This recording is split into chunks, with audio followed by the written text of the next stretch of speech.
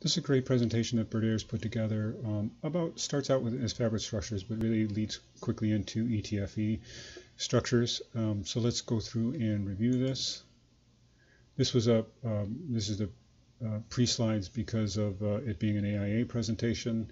Um, a little disclaimer, a lot of the ideas of the learning objectives have a, a little bit of a marketing bent to them, but really not so strong. We should all be aware that this idea of fabric structures is not new. It's been around as long as we've been building.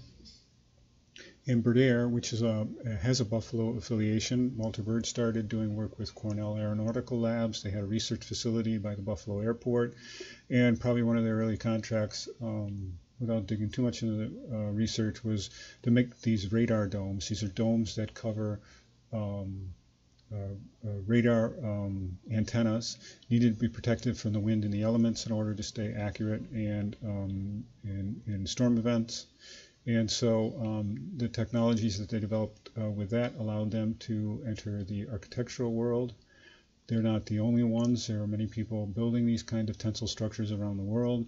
Um, as you can see, 1967 the Expo. Um, so, um, but it's also uh, important to note, uh, while you don't see a lot of these structures, they're extremely um, long-term lasting, which might kind of uh, be a little um, of a surprise to people who haven't dealt with fabric structures. These are fiberglass, um, high-performance structures, uh, roof systems uh, with Teflon coatings to them. They're not cheap. Uh, but they perform very well, many decades, and uh, can be uh, comparable to uh, just about any other kind of constructed roofing system. In Buffalo, uh, Walter Bird um, even covered his swimming pool with some of these early concepts. So this is from 1957 to give you a little historical perspective on it. And like um, like every uh, high performance material, we always like to have that connection to uh, NASA and uh, high performance um, uh, materials. And a lot of the development work of these kind of uh, materials would come out of the space program. So um, uh, inflated structures, these are structures that have no steel systems. They are held up by air, quite popular. We've had um, some huge failures with them where they've lost their air support or been collapsed under extreme snow loads. And um, in recent years, I've seen very few of these proposed. But nonetheless, this is a methodology of creating a, a large dome system with a very little bit of structural steel. And these may come into popularity again um, when we talk about trying to be more environmental, less structure. Um, early uh, use of, of, films for um, glazing systems, and then some contemporary um, um, uses of it, um, the ETFE films. So none of this is, is new, even though we may not be all that familiar with it. Um, here's the, I guess, the first um, like intellectual breaking point or, or, branching of how we think about creating these uh, structures and what the advantages of them might be.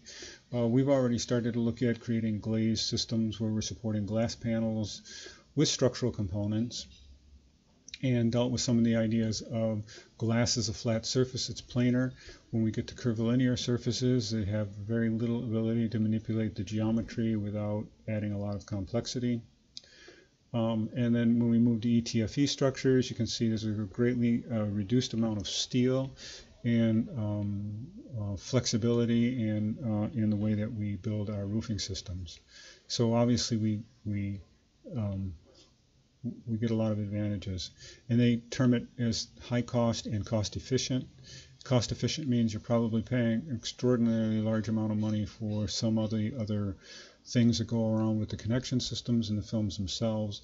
But by being cost efficient, they're referring to the reduction in metal and structural elements that go along with it. And then this is a brief kind of discussion about loading systems. This has a couple of, you know, a deflection of a, a you can imagine a piece of glass and in this case, we can start to look at these plastic systems, um, which have no weight of them, their own. And when they are um, inflated, they create their own kind of structural support um, by just like uh, an inner tube would be able to, or any kind of uh, air inflated structure would be able to create its own kind of support system. And this is the start of the introduction to um, the structural systems also. So we're clamping these pillows down. We have um, um, some way of separating them from the main structure, and um, we'll get into a little more of that in some more close-up details. So um, the idea here is that we do, when we have these uh, air-supported structures, we have no loads that we need to support. We get spans of 8 to 16 feet. And so there's a lot of advantages. So here we have a glaze system, and we can see that we've triangulated the panels because they're flat and planar, and we have a whole lot of componentry. And then when we go to um, an ETFE, we have um, now just major bent elements.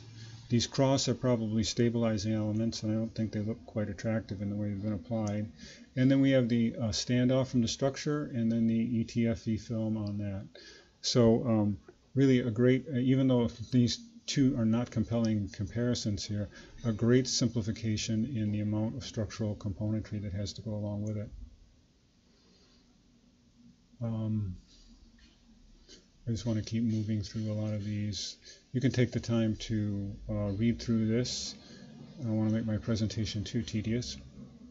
One of them here, uh, one of the uh, important things to note here is kind of the relationship between the vendor, the, the, the person who produces this material, and the actual uh, flow in the in the construction of a, of a building with its applications. In this case, a lot of times we talk about this idea of design assist.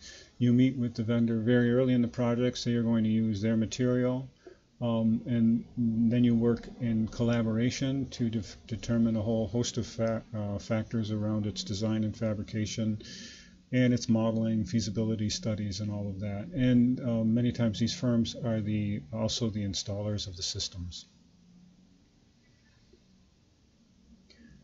Just another reiteration of that idea of the design and build process.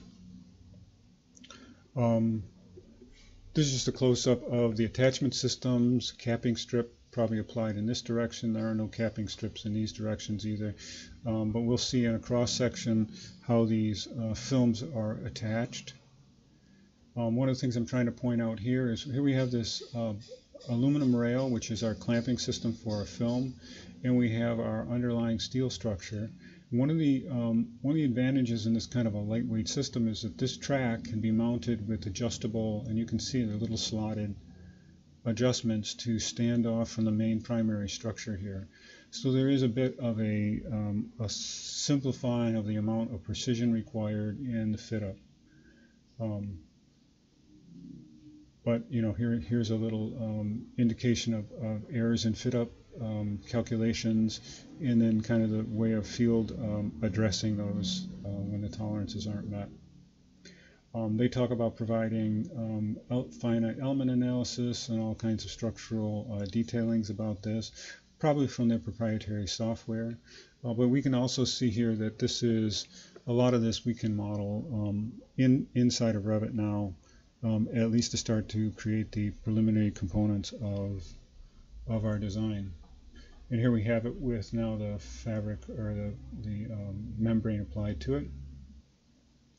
A little look inside of the factory of this. So here you're actually seeing an uninflated piece of the film material on a large table. The, the um, obviously the floor area required for laying out and welding and creating these membranes um, is uh, large. And this is probably a, uh, I believe, this either could be a welding machine uh, by uh, passing a laser over the surface and welding the two edges together or ultrasonically, or it could be a cutting machine, and I, I, mm, not exactly sure here. Um, yeah, this, they're talking about cutting patterns, so this is probably a cutting machine. And this is probably then a welding, an ultrasonic or laser welding machine, or heat and pressure, well, radio frequency, so that's an ultrasonic type of, of um, bonding of the two halves of the pillow together. And here we have them laying it out on the floor. And here's another detail of that um, aluminum um, um, attachment component. It looks like they have a place to try and collect what might be condensation that might come off of the films so it doesn't drip um, from high in the structure. We have, uh, looks like some, um, some um, wire rope going through here. This may be used for climbing and safety attachment uh, for people who have to service um, the, um, the panel system. And here we have them installing these large panels. So in this case, these are very long linear panels between two clamping systems. And this is the, you know, this one looks like it's been applied and inflated. This one appears to not have been inflated yet. And then this one isn't even um, unfurled. So it's been attached at one side, it's been rolled up, and it will be unrolled and then clamped down on the other side as we go through its installation.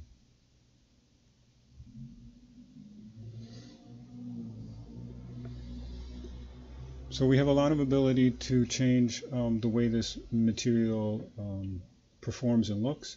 We control the number of layers on it. We can we can um, add colorants to it and or print on it. Uh, the technical aspect of this material, um, ethylene tetrafluoroethylene, ETFE. Um, I can never say that properly.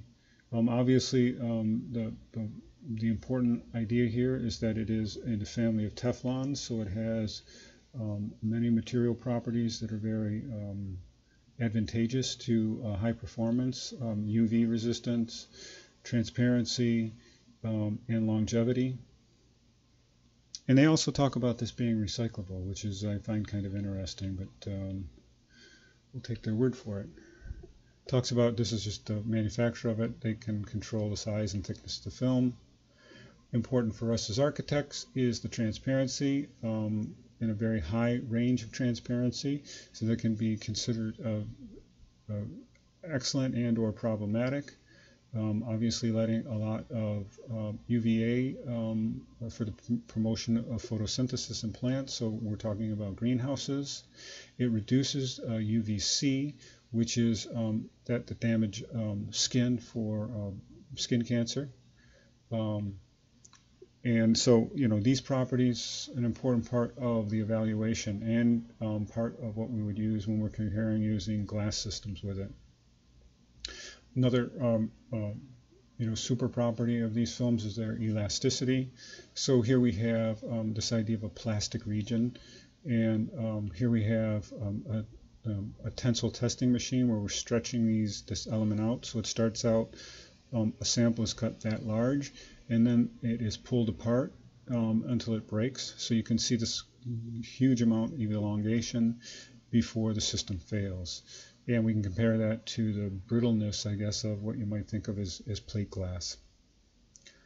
Um, another surprising um, performance is that it, it has good fire resistance. So we're, we're seeing these things um, melting through.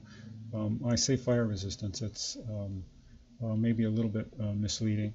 These um, they don't create a, fuel source um, to uh, promote more fire, but they will melt through. Obviously, that's what we're seeing here. Um, and then, you know, obviously there's this idea of the long-term performance of these. They've been well tested now, so we, you know, as a as a as an application, we can be pretty well um, uh, comfortable about its performance. So here we have it in a in a four-way tensile testing machine. Um, you know, the kind of, you know, this is just more showing you how well tested the systems are. You know, outdoor weathering racks where they look at the films and deterioration over years. Um, accelerated wear where they um, change the room temperature frequently to um, a, a, regime of hot, cold, and freezing weather. We have many ways, because we have a good high tensile um, performance of this material, um, we can use this um, material in a variety of ways. One is that we've already really talked about, that idea of making cushions out of it. The only way you can really see that these are cushion shapes is probably to see this kind of um, uh, bent piece of plywood here because of the transparency of the material. But over here we have um, a, a, welded up um, film that's supported up on a top ring and a bottom ring these may be embedded cable systems. I'm not exactly sure what's going on here, but uh, it's just one single layer. So there's, there's no insulating performance. There's no air inflated pillows here. It's just designed to uh, prevent water and or in this case it looks like it might be used as a water collection system. And surprisingly, um, they really have a great um, amount of ability to carry load. So here we have a, an, an, inflated um, st structure, a, a, stadium roof, um, obviously indicating the size of the people, and this incredible amount of um, snow load. Of course, in order to make this perform, they need an air inflation system to keep them uh, inflated. Um, we'll talk about thermally insulating, uh, but this graphic probably just the most important thing is this idea of being able to carry the loads. So one of the big issues that would come up um, with any kind of like uh, large glazing systems are both how much light does it transmit through, how much can it uh, prevent. We don't want to overheat our spaces. Many times our, in many climates we're actually trying to prevent solar heat gain um, to reduce indoor temperatures. So uh, how do we how do we mitigate that with these trans translucent films? While we still want to provide daylight and the advantages of these lightweight films. And then the other idea is this U value. How well of an insulator is this? And we're talking about U values as opposed to R values because we're mostly thinking about these as glazing systems. So their performance is the complete system um, as a single unit. So um, so there's some ways to actually improve the thermal performance. Just like with glazing systems, you can have a single glazing system or you could have a double glazing system. And so we have a middle layer in the film system and that allows us to um, basically double our insulating performance. And then in order to control um, solar heat gain, we can actually print on the material, we can make it reflective, and then we can control by the density of the dots, the shapes, how we print on it, control the amount of light that passes through our, our system. So here we have an example of um, creating some uh, shading with our, with our film system. And that was probably set up in a um, parking lot in Buffalo, New York some time ago. Obviously this color and light thing, but um, you know, that's um, there's many ways to introduce color into our architecture, which is not just in the colors of the film, but in the way we project light on them at night. Um, one of the big concerns about this system, it's an active system. It has to have air blown into it to keep the, the system inflated. So we have to have a supply of air. So here we have a uh, distribution system with a, um, in a manifold type configuration where we have tubes coming off to inflate the pillows. And these devices have to uh, perform a couple of functions. They have to remove the moisture so we don't get con condensation in the air that we supply. We have to remove the moisture, should I say, so that we don't get condensation within the pillows. Um, they have to have uh, backup power systems to them um, and they have to have some kind of a feedback loop to know how much pressure to put in according to the kinds of loads they may have to resist.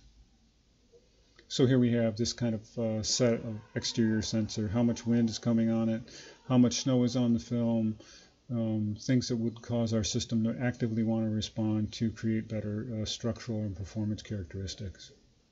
Uh, this I've, I've kind of laid out before, but the idea is that we can create an interference pattern between the interior um, interior membrane and the exterior membrane by the way we inflate um, um, an interlayer film. So in this case, um, in this direction, there's a lot of openings. We inflate it on the other side, and there is very little. So we could use this to uh, work as a kind of a blind system, specifically by how we print and then how we, um, in use, uh, inflate the uh, systems.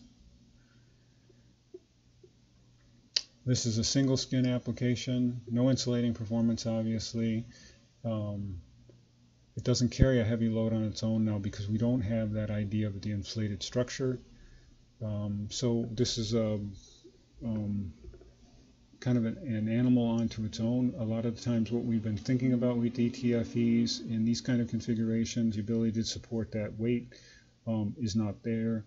Um, but uh, once again, these still lots of applications. And then surprisingly, some some buildings constructed with those kind of single layer uh, systems. So um, obviously the Beijing Stadium, um, you don't see that kind of a pillowing effect in the um, covering systems. Um, uh, an important architectural um, issue.